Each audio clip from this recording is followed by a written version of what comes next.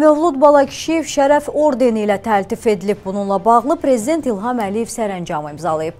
O, Azərbaycan ədəbiyyatının inkişafında böyük xidmətlərinə görə təltif olunub.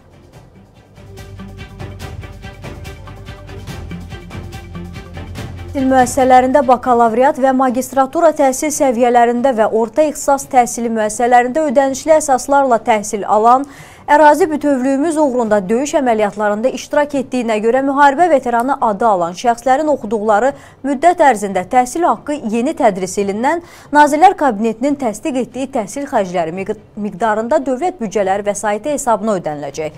Prezident İlham Əliyev bununla bağlı müvafiq sərəncam imzalayıb.